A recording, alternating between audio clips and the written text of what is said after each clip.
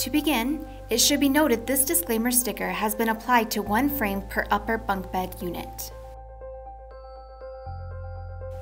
Start by lining up the holes of the barrel nuts and place them in the pre-drilled holes.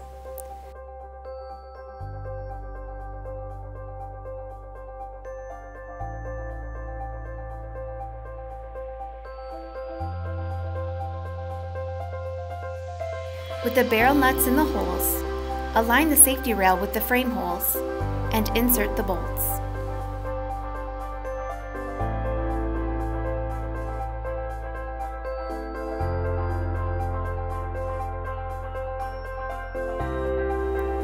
Repeat for the bottom hole and tighten securely.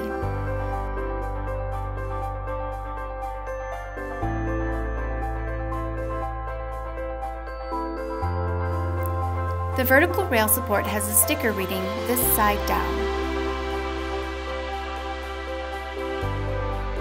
Line up the holes with the two horizontal rail boards and insert the nuts and bolts.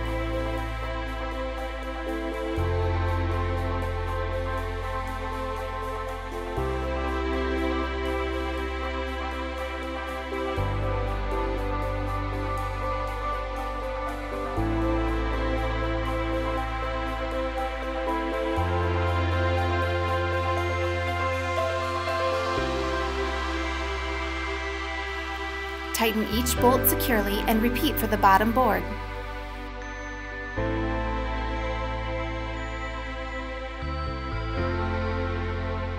Insert a connector pin in each of the four corner posts. Lastly, with the help of another, lift and place the assembled upper unit on top of the lower, lining up the pre-drilled feet holes with the connector pins.